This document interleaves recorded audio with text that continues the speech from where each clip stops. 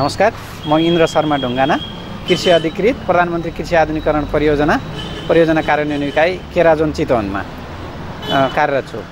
हामीले मुख्य गरेर परियोजनाको लक्ष्य र उद्देश्य सोच अनुसार अब केरालाई व्यवसायीकरण आधुनिकरण र औद्योगिकरण गर्ने क्रम क्रममा हामीलाई पहिला सबभन्दा हामीले गर्न खोजेको कुरा यहाँको स्रोत केन्द्र बिरुवाको लागि स्रोत केन्द्र हो। स्रोत केन्द्रको लागि अहिले केरामा गर्नुपर्ने टिस्यु कल्चर प्रविधिको बिरुवालाई चाहिँ हामीले चितवनमा सम्पूर्ण क्षेत्रमा लागू गर्नको लागि यहाँ अहिलेसम्म पनि टिस्यु कल्चरको एउटा नर्सरी नभएको अवस्थामा हामीले त्यसलाई अहिले नर्सरी अ, प्रवर्धन गरेर त्यसलाई अगाडि बढाउँदैछौँ।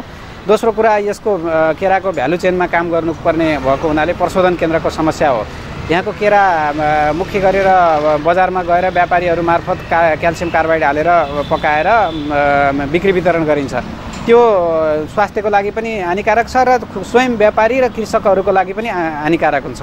त्यसले त्यसले के गर्छ भन्दाखेरि लस धेरै हुन्छ। त्यसका लागि प्रशोधन केन्द्र स्थापना गर्नको लागि हामीले ऱ्यापनिङ च्याम्बर सुरुवात गरेका छौँ। त्यसले फोर्टीदेखि फिफ्टी पर्सेन्टसम्म भ्यालुएट गर्ने कुरा छ। हामी त्यो कुरामा अगाडि बढ्छौँ र केरामा केरा खेतीको लागि व्यवसायीकरणको लागि सम्पूर्ण महत्त्वपूर्ण कुरा भनेको अहिलेको लेबर कस्ट म महँगो छ।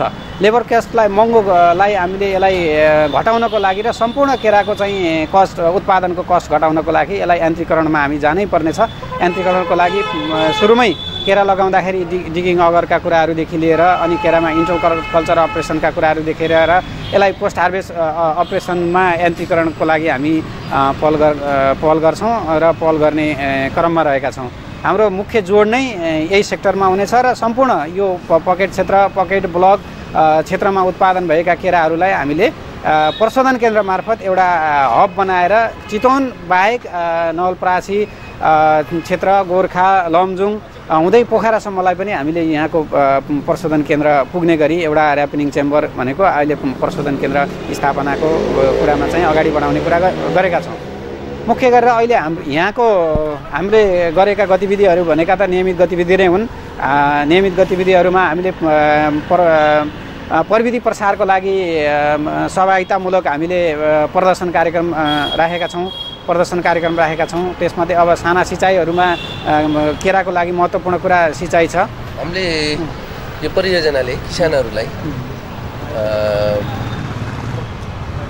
अनुदानको चाहिँ व्यवस्था कति कति गराएको छ? जस्तो यहाँ तपाईँहरू चाहिँ सिक्सटी फोर्टी एट्टी फाइभ छ नि। यसमा चाहिँ के कस्तो? यसमा अब यो परियोजनाको कार्यविधि अनुसार नै हामीले गर्नुपर्ने हुन्छ। सबै ठाउँमा सायद यसमा एकरूपता नै हुन्छ हुन्छ होला। हामीले साना सिँचाइको कार्यक्रममा एट्टी फाइभ पर्सेन्ट अनुदान दिन सक्ने व्यवस्था छ। त्यस्तै पोस्ट हार्भेस्टमा पनि एट्टी फाइभ पर्सेन्ट अनुदान दिन सक्ने व्यवस्था छ। कस्टम हायरिङ सेन्टर स्थापनाको लागि समूह सहकारी अ, हरूले चलाउने कस्टम हायरिङ सेन्टरमा हामीले फिफ्टी पर्सेन्ट अनुदान दिन सक्ने व्यवस्था छ। त्यस्तै हामीले अहिले त कार्यक्रम नभए पनि कार्यविधि अनुसार बिरुवा बेर्नामा फिफ्टी पर्सेन्ट अनुदान दिन सक्ने व्यवस्था छ। प्राविधिक सुविधामा हामीले हन्ड्रेड पर्सेन्ट नि शुल्क दिनुपर्ने व्यवस्था छ र माटो परीक्षण लगाएका क्रियाकलापमा एट्टी फाइभ पर्सेन्ट अनुदान दिने व्यवस्था छ हालसम्म यो केरा जोनमा कति हेक्टर यो?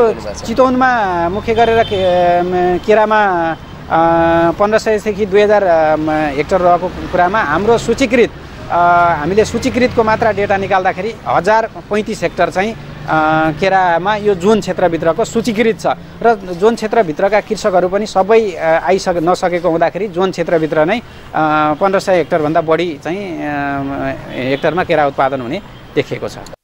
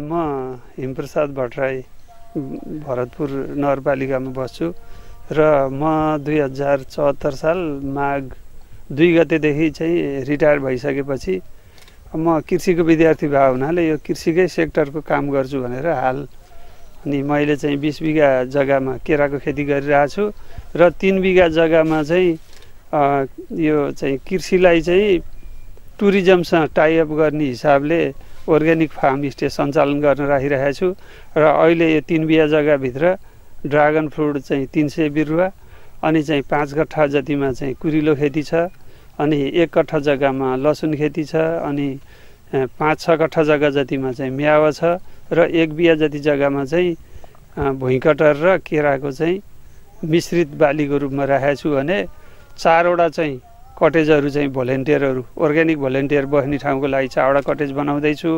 अफिस र उनीहरूलाई चाहिँ खाना बस्नको लागि चाहिँ प्रबन्ध मिलाउने हिसाबले काम गर्नको लागि चाहिँ अहिले लागिपरिरहेको अवस्था छ। र चितवनमा अब केराजोनको कुरा गर्दाखेरि मैले चाहिँ आफ्नो व्यवसायलाई चाहिँ केराजोनको अफिसमा सूचीकृत गरेका छु। अब अहिले केराजोनको अफिस पनि भर्खर स्थापना भएको अवस्था छ र उहाँहरूको कार्यक्रम चाहिँ आउँदैछ। अहिले चाहिँ किसानहरूलाई चाहिँ उहाँले टेक्निकल सपोर्ट चाहिँ दिने काम गर्नुभएको छ। अरू फाइनेन्सियल सपोर्टहरू चाहिँ योजना बनाएर योजना योजना तर्जुमा पाश्चात चाहिँ किसानहरूसम्म पुर्याउने चाहिँ उहाँहरूले चाहिँ कोसिस गरिरहनु भएको कुरा चाहिँ मैले बुझेको छु। हजुरलाई यस आयोजनाले के गरिदियो हुन्थ्यो जस्तो लाग्छ यो किसानहरूलाई? अब अहिले चितवनमा चाहिँ एउटा चाहिँ केरा खेतीको चाहिँ एउटा फैलिँदो अवस्था छ। दिन प्रतिदिन किसानहरूको चाहिँ आकर्षण भइरहेको छ। तर अब अलिकति चाहिँ अप्ठ्यारो चाहिँ बिरुवाहरू केराको चाहिँ उपयुक्त जात जस्तो अब अहिले इजरायली जातहरू चाहिँ राम्रो आइरहेको अवस्था छ। अब हामी कहाँ चाहिँ राम्रो टिस्यु कल्चर ल्याबको पनि व्यवस्था छैन। किसानहरू चाहिँ आफ्नो चाहिँ परम्परागत हिसाबले केरा बगानबाट चाहिँ सकरहरू लिएर लगाउने र त्यो सकरहरू चाहिँ लिएर लगाउँदाखेरि कतिपय अवस्थामा चाहिँ रोगहरू चाहिँ लागेको किराहरू लागेको ठाउँको बिरुवाहरू पनि ल्याएर लगाउन बाध्य परेको अवस्था छ। र यसो गर्दाखेरि किसानले जति चाहिँ आशा गरेका छ आशा गरे जति चाहिँ लाभ नहुने अवस्था चाहिँ सिर्जना भइरहेको छ। कतिपय ठाउँमा चाहिँ रोगहरू चाहिँ निस्किसकेको आउटब्रेक भइसकेको अवस्था छ। त्यसकारण चाहिँ अब सबभन्दा पहिला यो चाहिँ केरा खेतीलाई चाहिँ राम्रोसँग चाहिँ गर्ने हो भने किसानहरूलाई चाहिँ उन्नत जातको राम्रो स्वास्थ्य बिरुवाहरू चाहिँ उपलब्ध गराइदिने र बजारको व्यवस्था सरकारले चाहिँ कसरी व्यवस्थापन गर्न सकिन्छ? किसानले उत्पादन गरेको केरा चाहिँ यो बिचको चाहिँ बिचौलियाहरूले चाहिँ खाने सिस्टम छ जुन त्यो चाहिँ हटाएर चाहिँ किसानले डाइरेक्ट चाहिँ गभर्मेन्टलाई दिने र गभर्मेन्टले चाहिँ बिक्री गर्ने व्यवस्था चाहिँ मिलाइदियो भने किसानहरूलाई किसानहरू चाहिँ लाभान्वित हुन्थे र यो व्यवसायमा चाहिँ किसानको आकर्षण चाहिँ बढी हुन्छ जस्तो मलाई लाग्छ।